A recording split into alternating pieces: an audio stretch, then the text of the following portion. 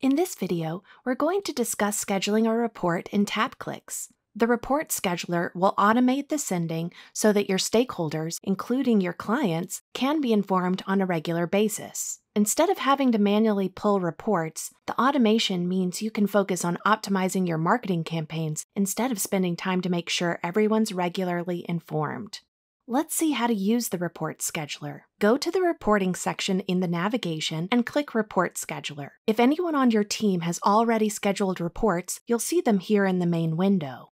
To set up a new scheduled report, click the plus button at the top. Then you'll define three main things who is receiving the report, when will they get it, and what will be in the report. So, who is getting the report? First, you'll select a client or a client group and add in the recipient's email addresses separated by commas. If you're sending the report to another TapClicks user, you can add them on the right instead of adding their email address.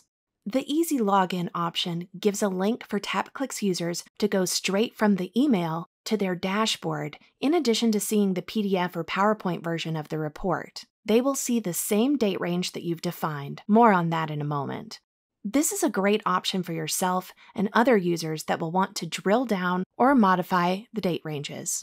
Next, you'll choose when the report is sent. Most of these are recurring events, but you can also choose to send only once on a certain day and set a day to stop sending the reports. You will find quite a few common preset date ranges in the time range section, such as a report based on the last seven days, last month, this quarter, last 12 months, and more. You can also set a custom date range and select to compare to the previous period if you're looking to uncover trends over time. The report format and content is the last area to configure for your scheduled report.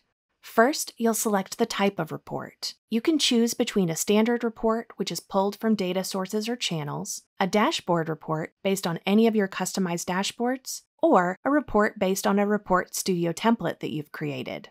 If you select a standard report, then you'll select a data profile and whether to show data sources, channels, or both data sources and channels in the report. When choosing your report type for scheduling, keep the recipients in mind. Standard reports can be helpful for showing all of the data at a high level in a report, but this report doesn't necessarily tell a rich visual story with the data in the way that a dashboard or report studio template can. Next, you will select the report format and name the report.